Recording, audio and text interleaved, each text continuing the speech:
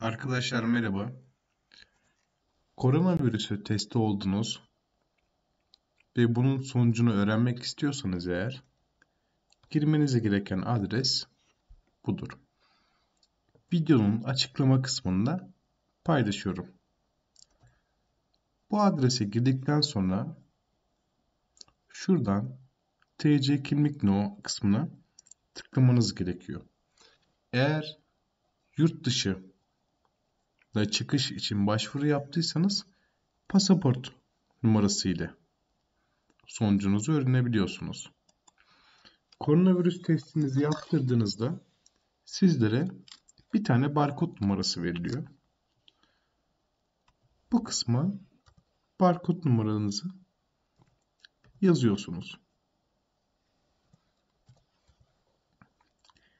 Şu kısma da TC kimlik numaranızın son 4 hanesini yazıyorsunuz. Bu iki kısım zorunlu alan.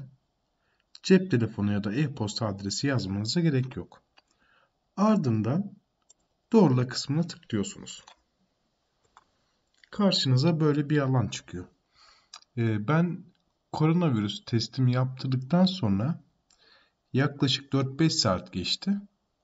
4-5 saat sonrasında bu alana ulaşabildim. PDF dosyanızı indir kısmına tıklıyorsunuz. Şöyle bir dosya iniyor.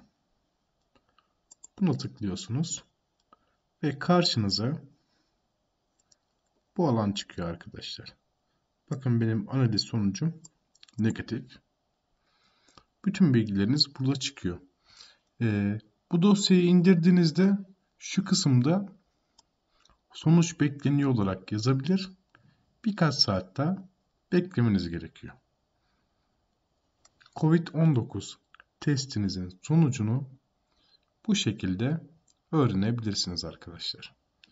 Umarım sizlere yardımcı olabilmişimdir.